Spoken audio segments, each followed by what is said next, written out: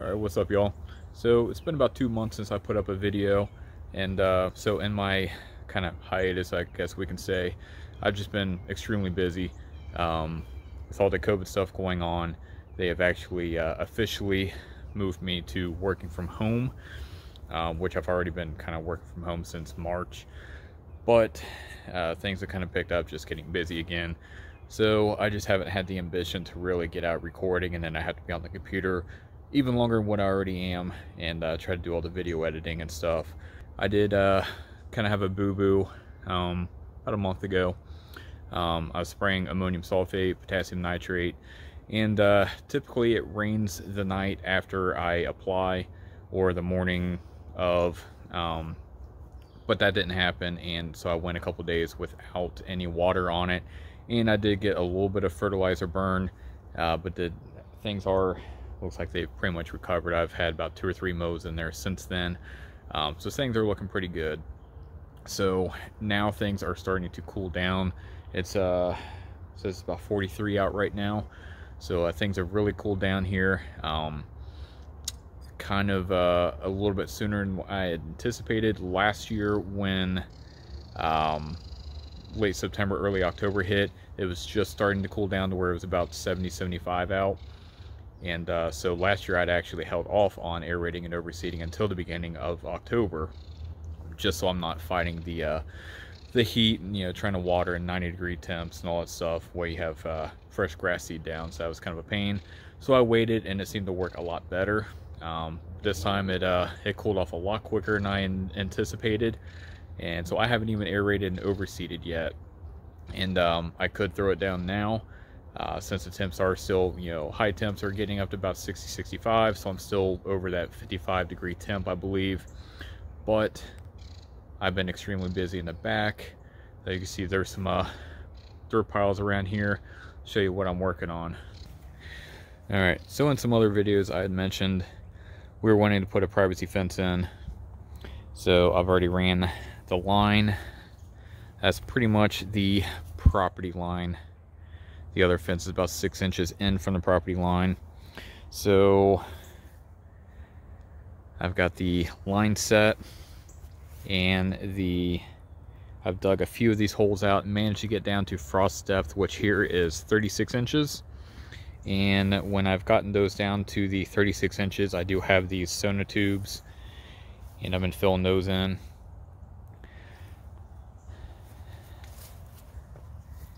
36 inches all the way down. So this was a bit of a, a process even just to get these three holes dug. Uh, rented a two-man auger over the weekend and thought, oh, I can just tear these out pretty quick, no big deal.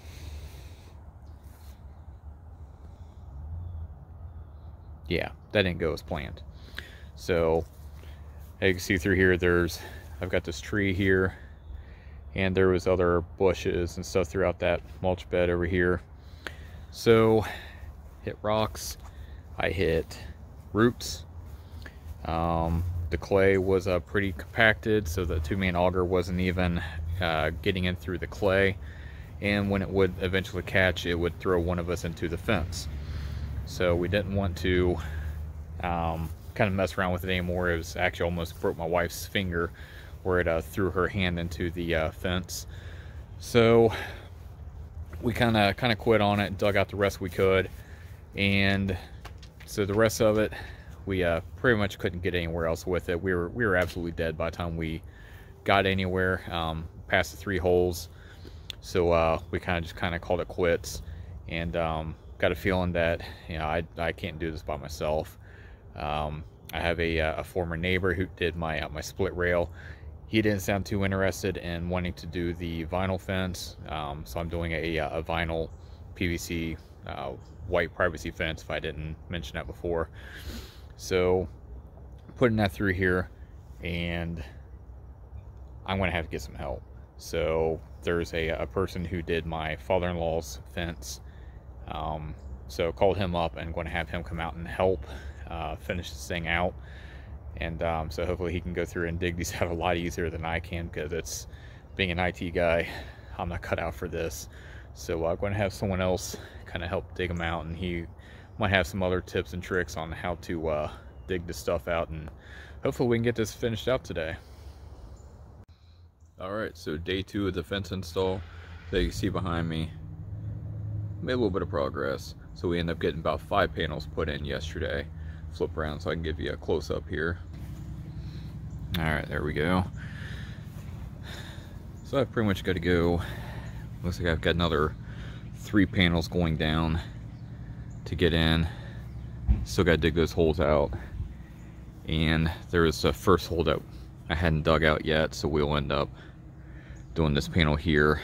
Might do this one probably first this morning once we dig it out.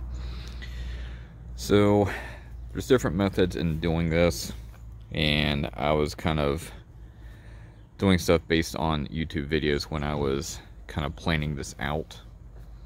So you can see I've got these tubes in there and down in there is actually some dry set concrete. So I did the uh, the quick set concrete. Now, when I started on this whole project, pretty worn out. So if I said this, I'm gonna say it again. Me and my wife ran into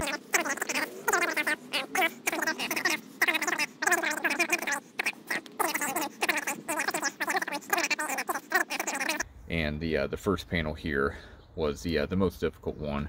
It didn't want to rack properly, and uh, pieces. It's a really good uh, fence. Apparently, the the vinyl is very thick. It is a um, I don't know Woodbridge, something rather. Um, but I got through Home Depot, and uh, I actually got a decent deal on it. So I don't know if it's a normal thing or not, but if you have a larger project like this, if you sign up for that Pro X um, through the, the professional counter, you know, that's further down at Home Depot. If you sign up for that, you actually get a little bit more of a discount. They get rid of those those vendor fees, and um, and you actually get the products a little bit quicker. Just saying. So I end up getting almost like $600 off of this fence. Plus I got it all at the same time versus if I was trying to order it off the website is when some of the parts weren't going to show up until like October. So it was kind of a kind of a sweet deal that uh, they helped me out with. So anyway, guy came out, helped me get this stuff set up, and fought with this one. Once we get this one eventually kind of set up, the rest of them kind of circle them pretty easy. The uh, the posts are five by fives because that was the only ones that I could find that were um, nine feet tall. I wanted to go three feet deep down the frost depth and then have enough room for maybe like the cap on top, stuff like that. So dug it down, then realized that we have to kind of lift it back up a little bit. So we're sitting at about 32 inches um, with the, uh, put a little bit of dirt back into it. Some of the videos recommend putting gravel in the bottom. The guy that I'm working with has been doing fencing for, I don't know, I think he said like 35, 40 years, something like that. Didn't believe in the gravel, so uh, I've got a bunch of gravel that I'm going to actually take back and uh, get some other concrete because I ran out of concrete.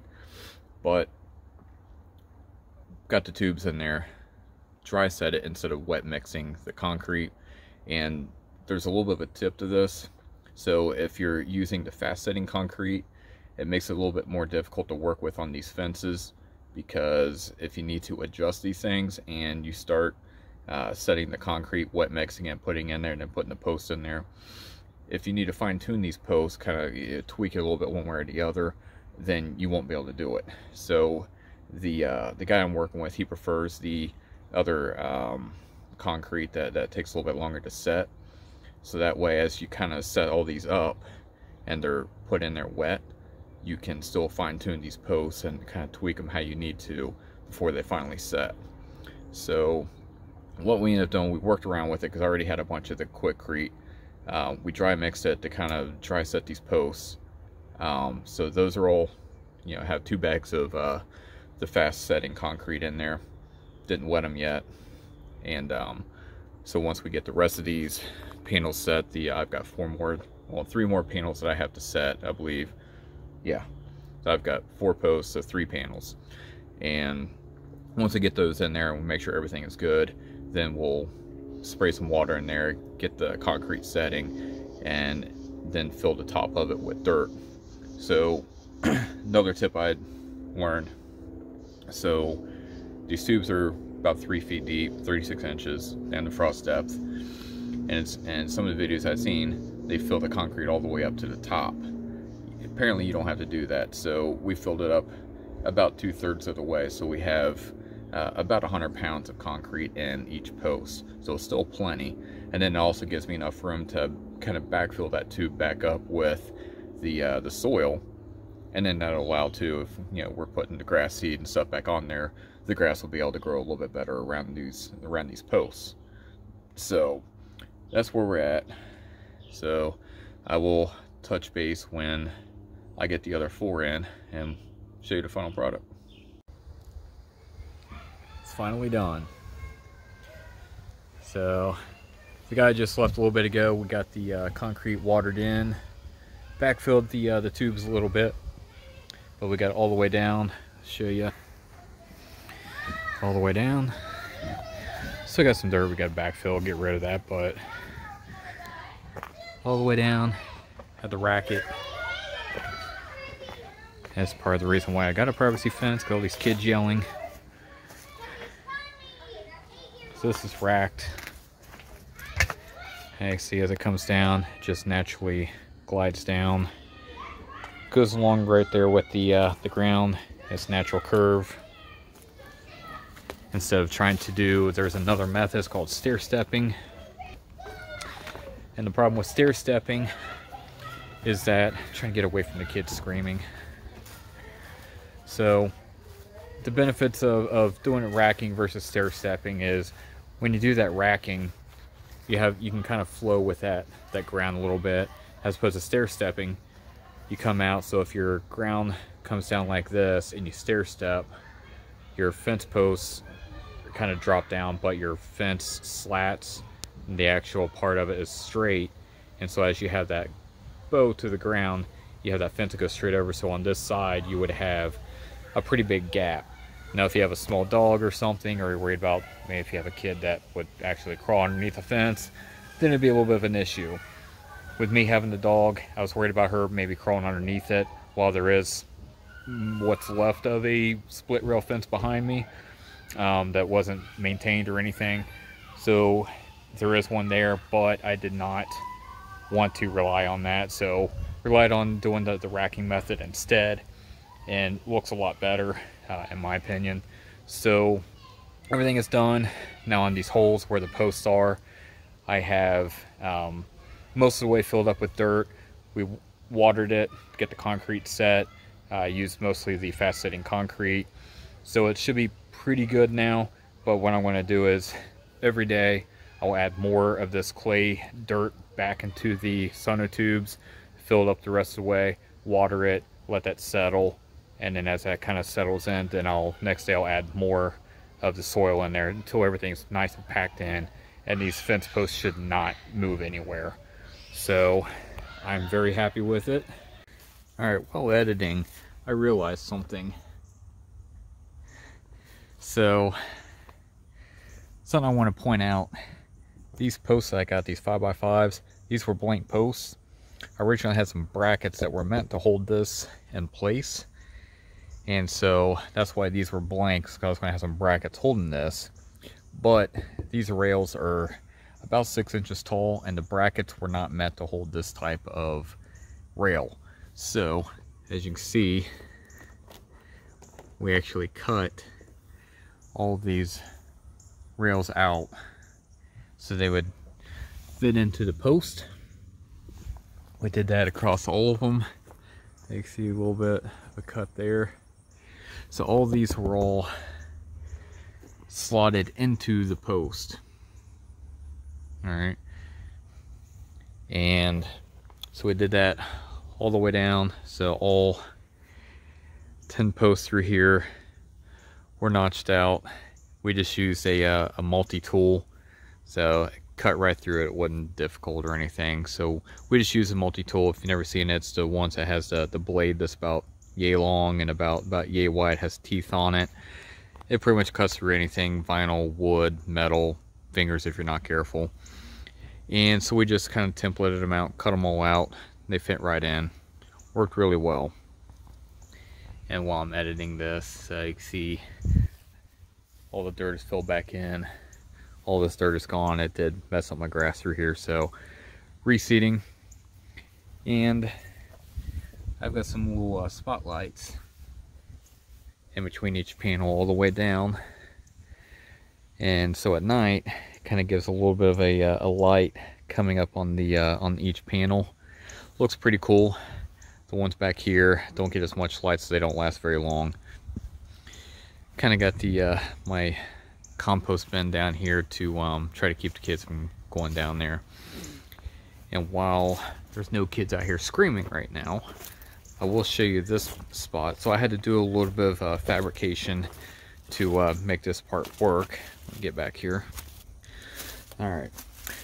So as I got the, the 10th um, piece down here, so you see it's racked down with the uh, the ground here. I end up with a about a three and a half foot section here that I needed an extra panel for. Luckily the guy that was helping me out, he had an extra panel.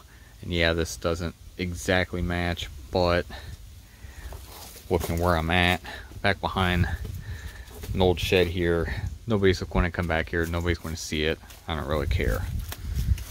So at least he hooked me up, gave me some extra pieces. So use the multi-tool, cut this down because this was an eight foot long section.